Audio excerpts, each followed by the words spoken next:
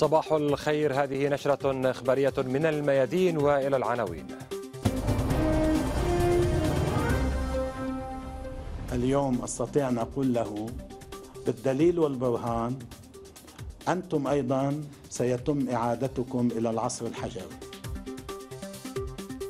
السيد نصر الله في ذكرى انتصار تموز الاحتلال أضعف والمقاومة أقوى وفي حال المعركة مع المحور لن يبقى شيء اسمه إسرائيل. شهدان بنيران الاحتلال خلال تصديهما لاقتحام الاحتلال مخيم عقبة جبر في أريحة مجلس السلم والأمن الإفريقي يفشل في التوصل إلى اتفاق بشأن الأزمة في النيجر. المدعية العامة في محكمة ولاية جورجيا تمهل ترامب حتى الخامس والعشرين من الشهر الحالي للمثول أمامها بعد اتهامه بمحاولة قلب نتائج الانتخابات الرئاسية في الولاية. أكثر من 25 قتيلا في انفجار محطة للغاز في داغستان جنوب روسيا وحقل تالينسكوي النفطي غرب سيبيريا. توعد الأمين العام لحزب الله السيد حسن نصر الله قادة الاحتلال بإعادة إسرائيل إلى العصر الحجري في حال شنهم حربا على لبنان وذلك بتدمير البنى التحتية المدنية والعسكرية بالصواريخ الدقيقة التي تمتلكها المقاومة. وخلال كلمته في الذكرى السابعة عشرة لانتصار عام 2006 أكد السيد نصر الله أنه في حال تطورت المعركة لتشمل محور المقاومة فإنه لن يبقى شيء اسمه إسرائيل.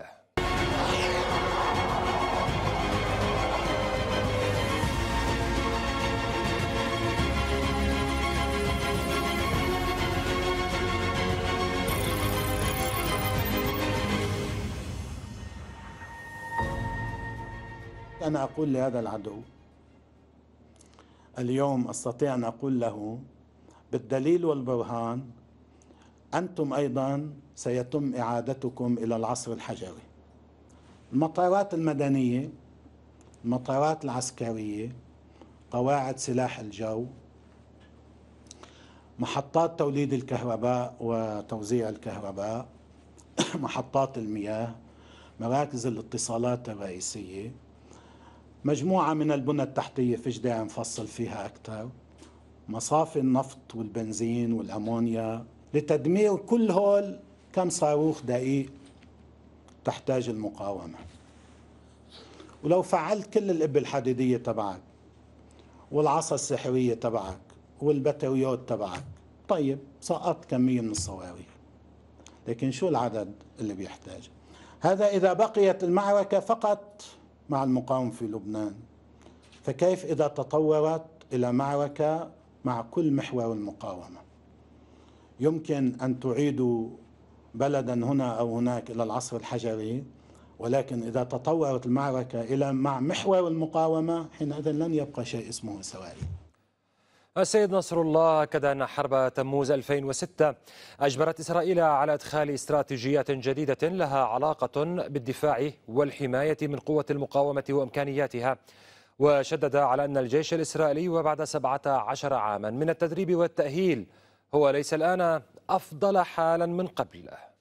لذلك من 2006 شفنا شيء جديد في استراتيجيات العدو وخطط العدو. له علاقة بالدفاع السلبي بحسب المصطلحات العسكرية وبالدفاع الإيجابي. بالدفاع السلبي يعني بناء الملاجئ بناء الأماكن الآمنة آه، موضوع الحرائق موضوع الإطفائيات موضوع المستشفيات موضوع الوصول إلى الناس بسرعة موضوع إلى آخره. الدفاع الإيجابي اللي له علاقة باعتراض الصواريخ باعتبار هاي فاتت بشكل أساسي على المعادلة واضح أدخلتها حرب تموز بقوة وتعززت بعدين بحروب غزة. هل استطاعوا خلال 17 سنة أن يقوموا بترميم قوة الجيش الإسرائيلي؟ يعني هلأ هو أفضل حالا أحسن حالا مما كان عليه بال 2006 بعد 17 سنة من الترميم والتدريب والمناورات والتجهيزات والتكنولوجيا الجديدة اللي فاتت عليه؟ لا أكيد لا. السيد نصر الله تطرق في كلمته إلى حادثة الكحالة. حيث اتهم زعامات وشخصيات وقوى سياسية لبنانية لم يسمها ومنابر إعلامية بالدفع نحو حرب أهلية. مشددا على أن اللبنانيين سيخسرون جميعا في حال الانزلاق نحوها وأن أطرافا خارجيين كثرا سيعملون لتأجيجها إن اندلعت من خلال أدائها وسلوكها وبيانها ومواقفها ومعها طبعا وسائل إعلام معينة وجيوش إلكترونية معينة تدفع البلد باتجاه الانفجار. تدفع البلد باتجاه الحرب الأهلية. بالنهاية مش في شارع واحد عم يتعبأ في شارعين عم يتعبأوا. بدهم ينتبهوا اللي عم بيصير هو تعبئة لأكثر من شارع تعبئة لأكثر من منطقة تعبئة لأكثر من ساحة. طيب بعدين مين بيقدر يمسك؟ مين بيقدر يسيطر على الموقف؟ هؤلاء أنا الليلة أتهمهم وعند وعند الدليل العلني. يعني بياناتهم وخطاباتهم ولغتهم وحدتهم وتعابيرهم ووجوههم وأنفاسهم أنها تدفع لبنان إلى الحرب الأهلية. إذا أخذتوا البلد على حرب أهلية على شو عم تراهنوا إذا صار حرب أهلية بلبنان أنتم بتتوقعوا أنه في حدا بالعالم هيجي يتدخل ليوقف حرب أهلية؟ بالعكس إذا صار في حرب أهلية لا سمح الله بلبنان هناك الكثير من الدول التي ستعمل على تسعير هذه الحرب الأهلية. تزت البنزين على النار وتزت الزيت على النار وأولهم إسرائيل. وفي الملف اللبناني أيضا أعلن سيد نصر الله أن الحوار قائم منذ مدة بين حزب الله والتيار الوطني الحر وتجري مناقشة عدد من الملفات والاقتراحات والأفكار. وكذا أن مسار الحوار إيجابي. إخواننا وأصدقائنا بالتيار الوطني الحر اللي بلش من مدي والمسار اللي ماشي مسار إيجابي طبعا يحتاج إلى بعض الوقت لأنه عم نناقش اقتراحات وأفكار ونصوص وعدد كبير من الصفحات لكن الموضوع موضوع جدي ويمكن أن يصل إلى نتيجة إن شاء الله.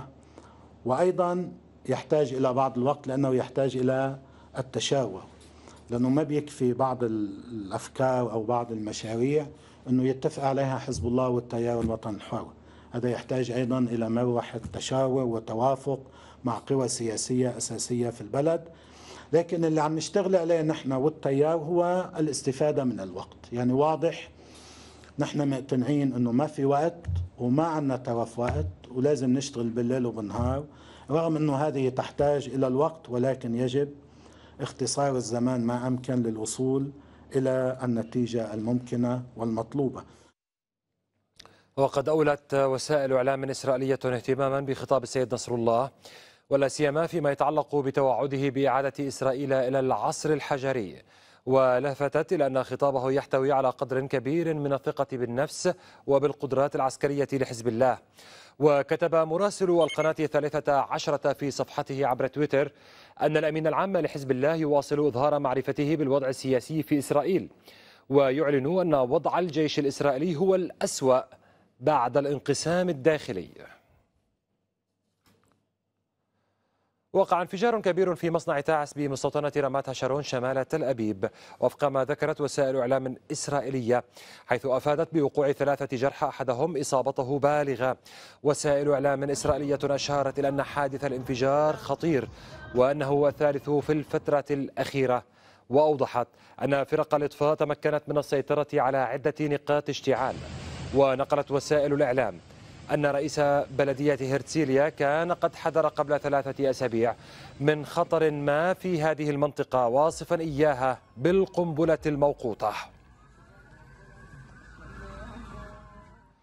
أكدت مراسلة الميادين في فلسطين المحتلة ارتقاء شهيدين في مخيم عقبة جبر بأريحة خلال تصديهما لاقتحام قوات الاحتلال الإسرائيلي. ونقل الشهيدان إلى المستشفى التي شهدت تجمعا للشبان حيث رددوا الهتافات والتكبيرات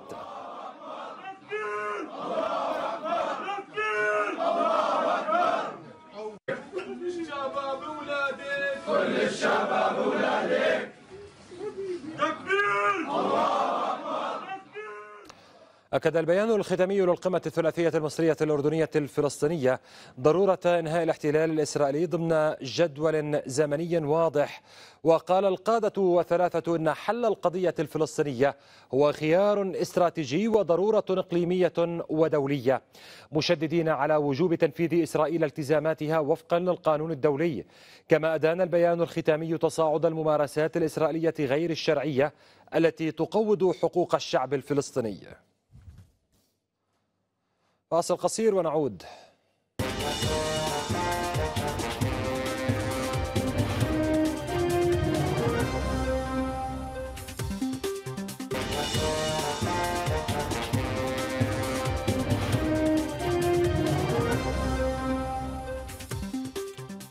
من جديد أهلا بكم أكد وزير الخارجية الإيراني حسين أمير عبد اللهيان. أن بلاده لم تبتعد قط عن مسار الدبلوماسية والمفاوضات. وأضاف أمير عبد اللهيان أن جميع الأموال يجري تحويلها باليورو إلى حساب بنكي في دولة إقليمية بحيث تستخدم إيران الحساب لشراء سلع لا تشملها العقوبات.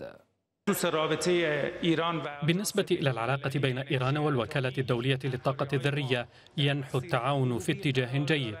منظمتنا للطاقة الذرية والوكالة الدولية حققتا تقدما جيدا في بعض القضايا المسماة عالقة. ولأن المنظمة حولت تركيزها إلى المسائل التقنية فهذا سبب كاف لرؤية تقدم جيد جدا في العلاقة بين الجانبين. إلى ذلك ارتفع عدد شهداء الهجوم الإرهابي في شيراز إلى اثنين بعد وفاة أحد المصابين متأثرا بجراحه. رئيس النيابة العامة في محافظة فارس أعلن أن منفذ الهجوم يحمل الجنسية الطاجيكية وهو يخضع للاستجواب من قبل أجهزة الأمن. كما أكد اعتقال عشرة أجانب مشتبه في تورطهم في الهجوم الإرهابي. تقرير مالك عبده.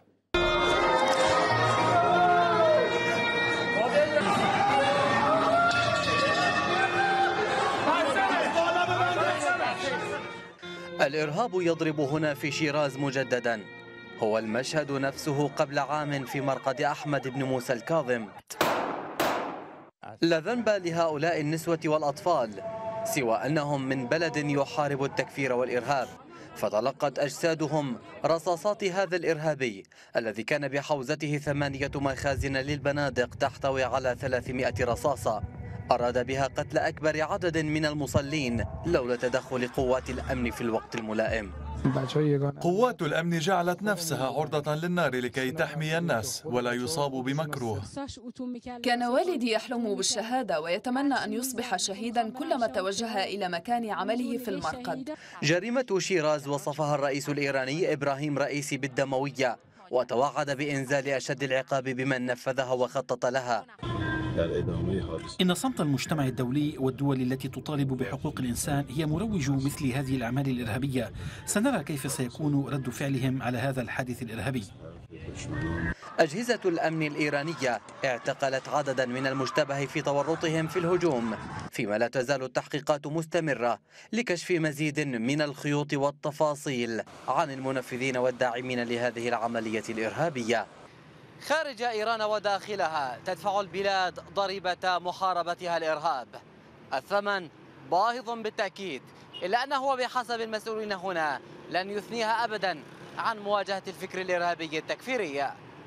مالك عابد طهران الميادين. الأمين العام للأمم المتحدة أنطونيو غوتيريش أدان الهجوم الإرهابي في شيراز مطالبا على لسان الناطق باسمه ستيفان دوجاريك بتقديم المجرمين إلى العدالة وإنزال القصاص بهم.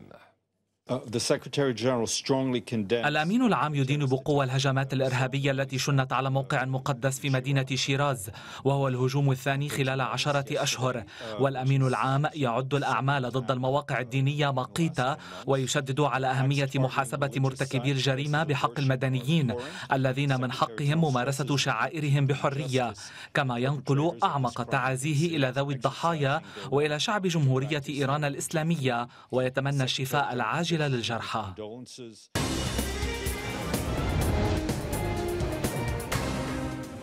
فشل مجلس السلم والأمن الإفريقي في التوصل إلى اتفاق بشأن الأزمة في النيجر خلال اجتماعه الذي عقد أمس في مقر الاتحاد الإفريقي في أديس أبابا. وقرر المجلس عقد اجتماع آخر من دون تحديد الموعد. إلى ذلك نددت المجموعة الاقتصادية لدول غرب إفريقيا إكواس بمسعى المجلس العسكري في النيجر لتوجيه اتهامات بالخيانة العظمى للرئيس محمد بازوم. وفي بيان لها وصفت المجموعة الخطوة بأنها شكل من أشكال الاستفزاز من جانب قادة الانقلاب في النيجر وتتعارض مع ما تردد عن استعدادهم للتوصل إلى حل سلمي للأزمة الحالية. في موازاة ذلك أكد رئيس الوزراء الجديد المعين من قبل المجلس العسكري في النيجر علي الأمين زين قدرة بلاده على تجاوز العقوبات التي فرضتها إكواس ردا على عزل بازوم. وأشار الأمين زين في مقابلة مع إذاعة دويتشي فيلي إلى أن المجلس العسكري ظل منفتحا على الحوار حتى قبل زيارة علماء مسلمين بارزين من نيجيريا لنيامي ولقائهم قادة المجلس العسكري. مضيفا أن المجلس الجديد لديه كل المصلحة في العمل والحفاظ على العلاقة المهمة والتاريخية مع المجموعة الاقتصادية لدول غرب إفريقيا. الأحداث في النيجر تتسارع على مستويات عديدة. المجلس العسكري يتجه إلى محاكمة الرئيس المعزول محمد بازوم ويعلن الاستعداد للحوار مع لجنة إكواس. كل ذلك في ظل تحديات أمنية مع سقوط قتلى في معارك غرب النيجر. ما كانت تعرف بالمستعمرة الفرنسية تغيرت أحوالها منذ الانقلاب العسكري الشهر الماضي إذ أنهى زعيم الانقلاب اتفاقيات الدفاع العسكري الفرنسية وطلب إلى الشركات التي تعمل في مجال تعدين اليورانيوم مغادرة البلاد وترك الموارد المتاحة للنيجيريين ليديروها بأنفسهم. يأتي ذلك مع إعلان المجلس العسكري الاستعداد لمحاكمة الرئيس المعزول محمد بزوم بتهمة الخيانة العظمى. على أي حال قامت حكومة النيجر بجمع الأدلة اللازمة لمقاضاة الرئيس المخلوع وشركائه المحليين والأجانب أمام السلطات الوطنية والدولية المختصة بتهمة الخيانة العظمى وتقويض الأمن الداخلي والخارجي للنيجر بعد علاقته برؤساء دول أجنبية ومنظمات دولية. المشهد ضبابي بعد نحو أسبوع على انتهاء المهلة التي حددتها المجموعة الاقتصادية لدول غربي أفريقيا إكواس لإعادة الرئيس المعزول والتي أمرت بنشر قوة احتياطية لاستعادة الحكم في النيجر من دون توضيح متى وكيف ستنشرها في ظل انقسامات بين أعضائها بشأن التدخل العسكري وتغليب الدبلوماسية. في هذا السياق يأتي إعلان الحكومة الانتقالية التي عينها المجلس العسكري في النيجر الموافقة على بدء محادثات مع إكواس لحل الأزمة. بالتوازي يكثف وفد علماء الدين النيجيريين الوساطة بموافقة رئيس نيجيريا الذي يتولى الرئاسة الدورية لإكواس. واتفق وفد العلماء مع قادة الانقلاب على الحوار كما رفع توصية إلى قيادة نيجيريا بعدم اللجوء إلى الحل العسكري. إلى جانب مخاض الانقلاب وتبعاته تبقى الهواجس الأمنية حاضرة في البلد الواقع غربي القارة السمراء وذلك مع سقوط ستة قتلى من الجنود النيجيريين وعشرة متشددين في معارك غربي البلاد. هنا يطرح البعض تساؤلات عما إن كان الغرب وإكواس سيقبلان التضحية ببازوم في مقابل التهدئة. أفادت مصادر محلية ليبية بأن اشتباكات عنيفة اندلعت في العاصمة طرابلس بين فصيلين مواليين لحكومة الوحدة الوطنية التي يرأسها عبد الحميد ردبيبة. وبحسب وسائل إعلام ليبية فإن جهاز الردع أقدم على اعتقال آمر اللواء 444 محمود حمزة ما أدى إلى اندلاع مواجهات قام خلالها اللواء 444 باقتحام عدد من مقار جهاز الردع ومصادرة مركبات مركباته وآلياته كما سمعت أصوات القذائف المدفعية في أرجاء المدينة. اتهمت هيئة محلفين كبرى في أتلانتا الرئيس الأمريكي السابق دونالد ترامب بمحاولة قلب نتيجة الانتخابات الرئاسية عام 2020 في ولاية جورجيا ولا سيما من خلال ممارسته ضغوطا على مسؤولين عن الاقتراع. المدعية العامة في جورجيا أمهلت ترامب وثمانية عشر متهما آخرين حتى الخامس والعشرين من الشهر الحالي للمثول أمام المحكمة وأشارت إلى أنها تريد إنهاء محاكمة ترامب في غضون ستة أشهر.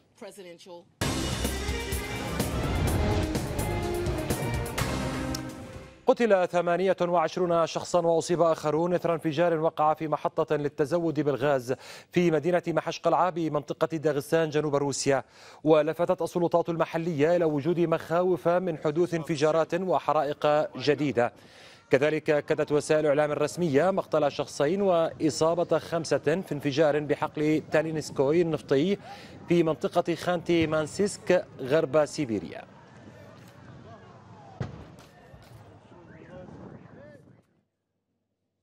وزير الدفاع الروسي سيرجي شويغو قال أن الأسلحة الروسية تثبت جدارتها في أوكرانيا ولفت إلى أن الغرب يبالغ في الدعاية لأسلحته التي ثبت أنها بعيدة كل البعد عن المثالية. وكان شويغو قد استعرض أحدث أنواع المسيرات والمروحيات وأسلحة الطائرات الروسية في منتدى الجيش الروسي لهذا العام. أسلحتنا تظهر الموثوقية والفعالية وفي الوقت نفسه تبين أن المعدات الغربية التي أعلن عنها على نطاق واسع بعيدة كل البعد من أن تكون خالية من العيوب.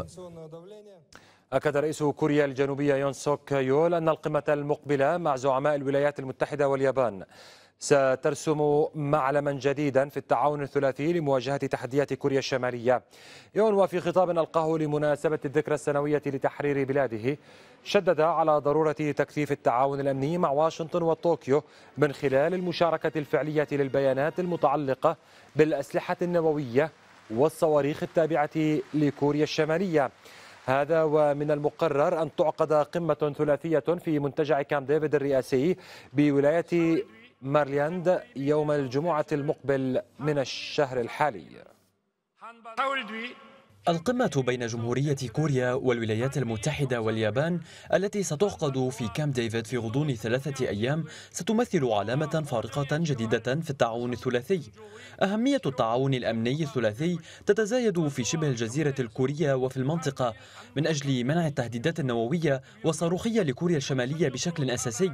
يجب على جمهورية كوريا والولايات المتحدة واليابان التعاون بنحو أوثق في أصول الاستطلاع ومشاركة بيانات الأسلحة النووية والصواريخ لكوريا الشمالية.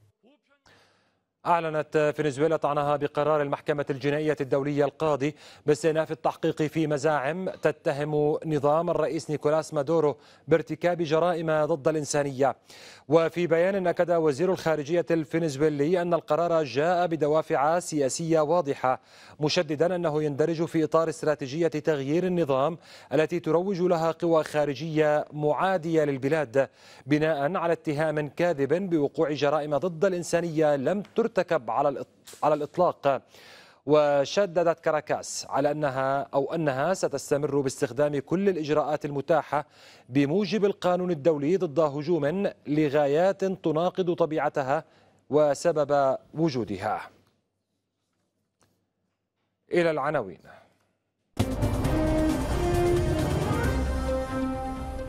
اليوم أستطيع أن أقول له بالدليل والبرهان أنتم أيضا سيتم إعادتكم إلى العصر الحجري. السيد نصر الله في ذكرى انتصار تموز الاحتلال أضعف والمقاومة أقوى. وفي حال المعركة مع المحور لن يبقى شيء اسمه إسرائيل. شهيدان بنيران الاحتلال خلال تصديهما لاقتحام الاحتلال مخيم عقبة جبر في أريحة مجلس السلم والأمن الإفريقي يفشلوا في التوصل إلى اتفاق بشأن الأزمة في النيجر.